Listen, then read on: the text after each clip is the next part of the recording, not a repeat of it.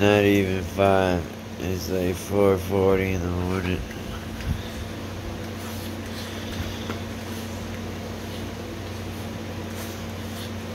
Hopefully this will tie them over until the morning time. Which is just probably is their morning time. They're probably not gonna go back to sleep. That means I'm not going back to sleep. So five o'clock, I'm up. God bless y'all.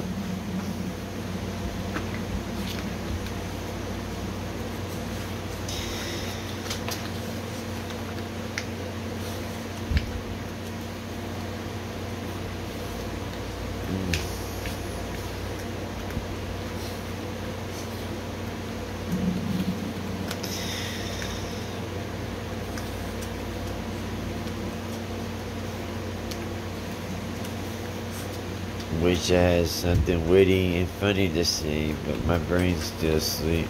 My head kinda hurts. Think I'm getting another migraine. I had it for like a week straight.